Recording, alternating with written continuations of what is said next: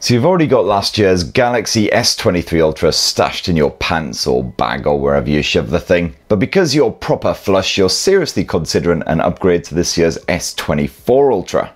But is the fresh Samsung Galaxy S24 Ultra actually worth the 1,249 pound asking price? Will you actually notice any real difference in the camera tech, the gaming experience, all those bits that really matter?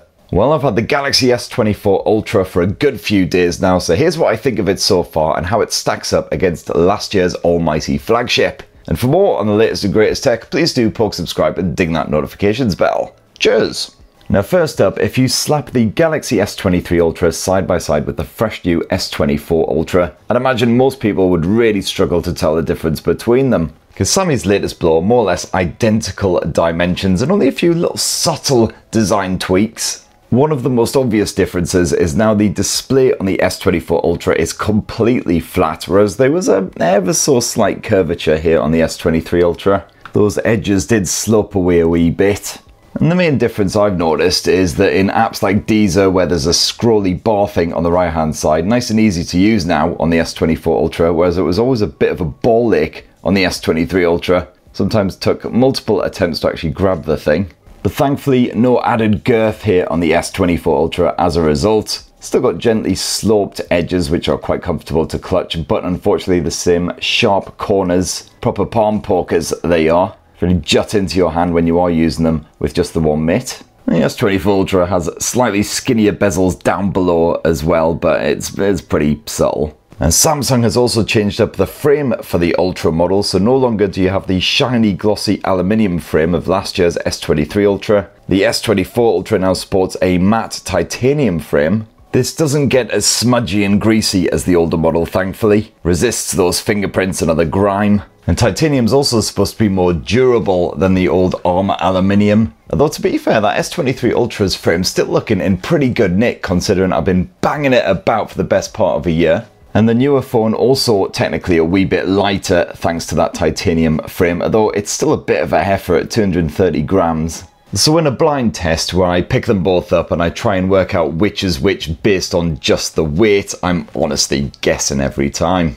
As for the arse end, well, apart from the fresh new colour options, there's bugger all difference between the S23 Ultra and S24 Ultra. You've got the exact same slightly jutting camera lenses, which means that when these phones are sat on a desk or table, they do rattle about the place. As for the general hardiness, well, they're both IP68 water and dust resistant, so you can drop them in a sink or a bath or whatever, they'll be absolutely fine. Just give them a quick toweling off. And that front display has been upgraded as well from Gorilla Glass Victus 2 here on the S23 Ultra to the fresh new Gorilla Glass Armor here on the S24 Ultra. Apparently, this is less susceptible to scratching than the old Victus 2, which is good news because the S23 Ultra is coated in tiny wee nicks. Could be a lot worse again because I've absolutely punished this thing the last few months, but still. But the major difference I've noticed so far between the two is that Gorilla Glass armor is a lot less reflective, as you can see there. Despite having the same massive spotlight beamed right onto it, you can barely even see it here on the S24 Ultra. So between that and the fact that it's a brighter display, it's much, much easier to see what is going on on the S24 Ultra if you're using it outdoors and the sun's shining. So here in the UK, that'll come in handy in about six months time.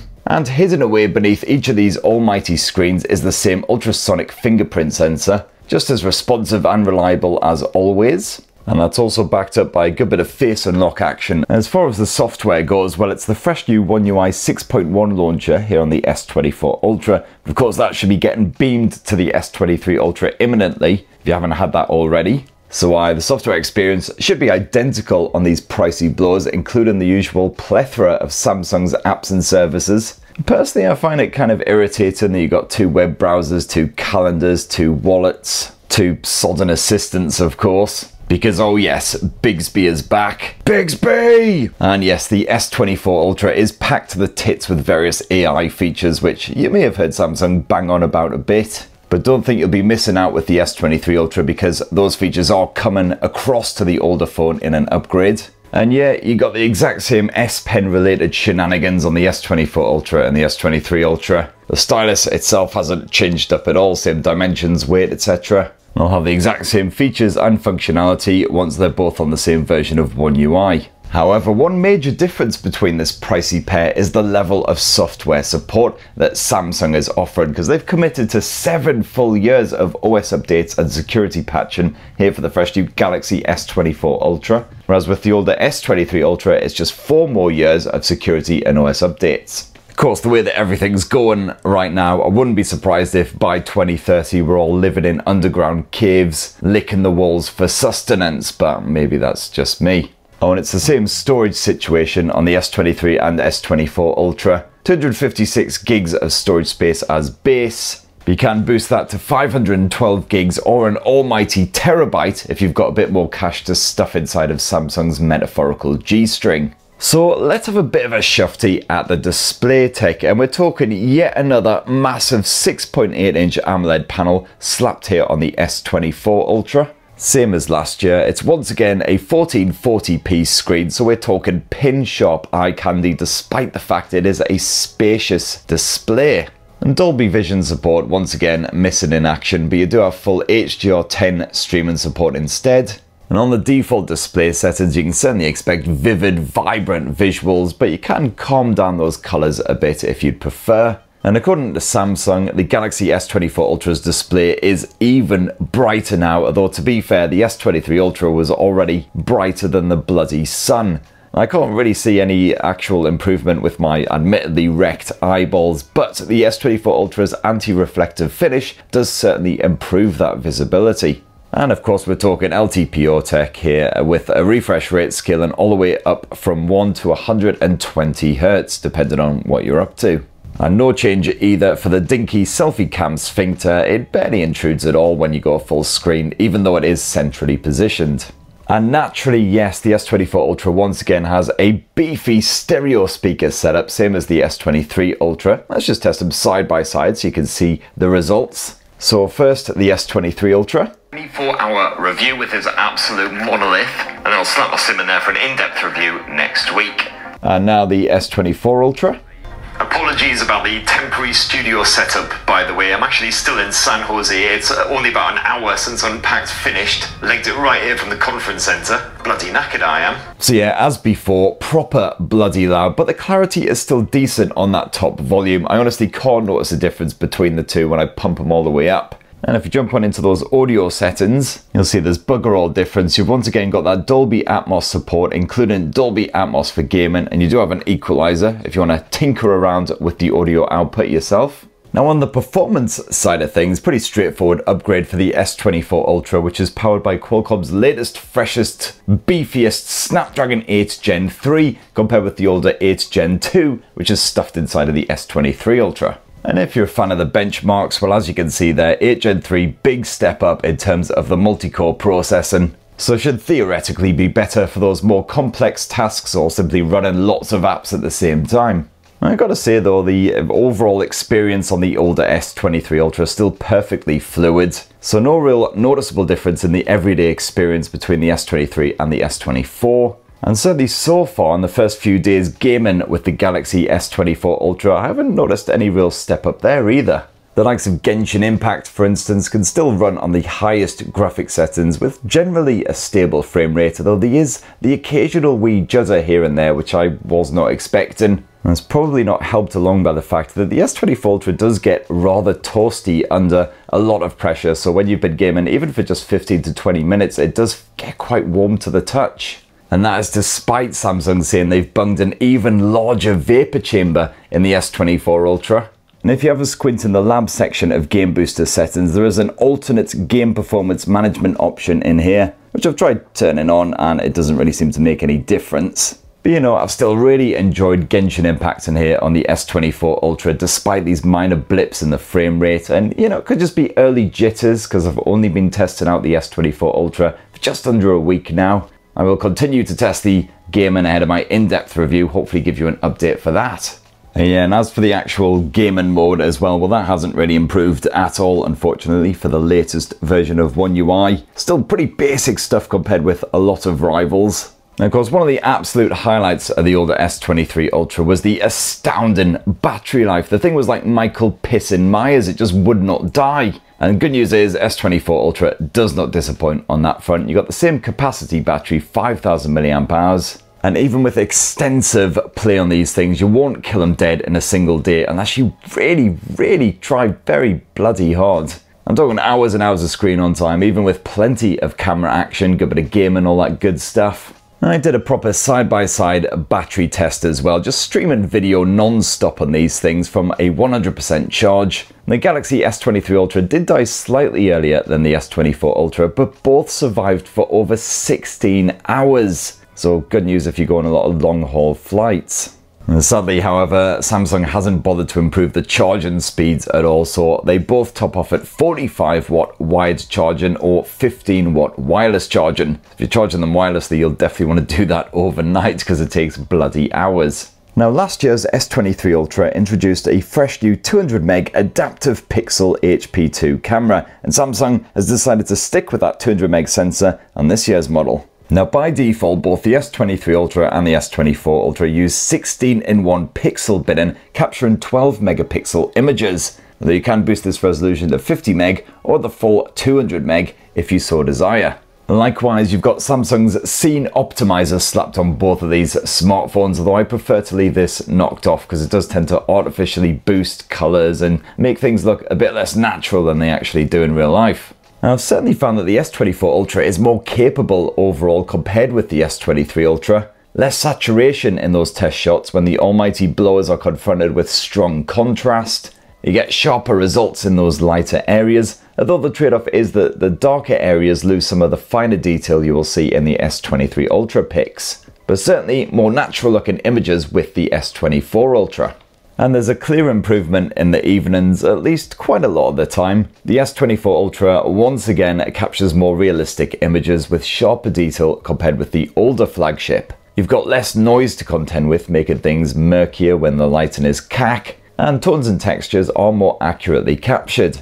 Although in some of my sample shots the differences aren't quite as obvious and the S23 Ultra performs almost as strongly. You do still get some noise and softer results when you're shooting in ambient indoor lighting, but the S24 Ultra is on the whole a dependable shooter and seems to be a gentle step up in most areas for everyday shots. As for the portrait mode, as you can see, you've now got more zoom options here on the S24 Ultra, one times, two times, three times, or five times. If you want to get nice and close to your subject, whereas you're stuck with one times or three times here on the older S23 Ultra. And for some reason, the food mode seems to its pants every time here on the Galaxy S24 Ultra, so you get much better results with the older flagship. Hopefully that's just some weird early bug, not really sure what's going on there. Now with the old Galaxy S23 Ultra, you got a pair of telephoto shooters, both 10 megapixels, one working at 3 times optical zoom, one offering 10 times optical zoom. The S24 Ultra swaps out that 10 times zoom lens for a 50 megapixel shooter, this time with a reduced 5 times optical zoom. And this does offer a clear improvement in image clarity when you're zooming between the 5 and 10 times levels compared with the older Ultra, while the focus can now cope with closer subjects if you want to pick up those finer details. At the 10 times zoom level and beyond, the old S23 Ultra does often come out on top, offering slightly stronger clarity although in most of my test shots there's really not a huge amount in it. And both of these phones can zoom right into the 100 times zoom level, which frankly is more than you should ever need. And things do unsurprisingly start to get a bit fuzzy when you are hitting those kinds of levels. And again, the telephoto results are a step up on the Galaxy S24 Ultra in lower light conditions. You've generally got less noise, the details are a wee bit sharper, and colours are closer to what you'll see with the naked eye. Results with the 12 megapixel ultra wide angle shooters slapped on both the S23 Ultra and S24 Ultra, absolutely fine. Not quite as capable in darker conditions, however, especially if there's any kind of motion. And if you happen to catch my S24 Ultra unboxing video, you'll know that there's lots of really clever ass AI photo editing tools to piddle about with. Spruce up your pics, make them look even more gorgeous. The good news is those are all coming to the S23 Ultra as well, so you're not missing out. And if you want to shoot some home movies, well, the good news is you can capture footage all the way up to 8K resolution once again at 30 frames per second. Otherwise, if you bump it down to Ultra HD, you've got a choice of 30 or 60 frames per second. And we're once again talking cracking picture quality here on the S24 Ultra. that stabilization is again tastefully smooth even when you're wandering about all over the place panning the camera. Like the previous generation, you could smoothly zoom in and out while filming without a jarring transition between the lenses, although as usual that ultra-wide angle shooter isn't as capable for video capture. You got a little bit less noise at night when you're zooming in with those telephoto shooters, although it's not usually much of a difference. Both of these Samsung blowers do a solid job in the evenings. And on the audio side of things, the S24 Ultra is once again a star, just like that S23 Ultra. Wind interference is dampened down so you can clearly pick up vocals when you're shooting outdoors. So even a blustery boat trip in San Francisco was handled deftly by this mighty flagship. And last up, both of these Samsung Ultras serve up the same 12 megapixel selfie camera, so no real difference between the two. You got the same craggy faced miserable git with both. And there you have it my lovelies, that in a tasty wee nutshell is how the fresh new Galaxy S24 Ultra stacks up against the older but still pretty bloody expensive S23 Ultra. I'm definitely loving the S24 Ultra so far, five days in. I'm going to be using it as my full-time phone for at least another week or so before I deliver my in-depth review, however, because I feel like the gaming performance isn't quite there just yet. Hopefully it'll settle down and that will improve over time. But so far everything else is excellent. The camera's certainly an improvement over the previous year. Battery life is once again excellent. The media chops are top notch. Loving that anti-reflective display as well. But if you've already got the older S23 Ultra, I would certainly say an upgrade to the S24 Ultra, not exactly essential, especially given the kind of money that we're talking here. Unless obviously you wipe your ass with 50 pound notes, in which case, yeah, go for it. I mean, I've never actually even seen a 50 pound note.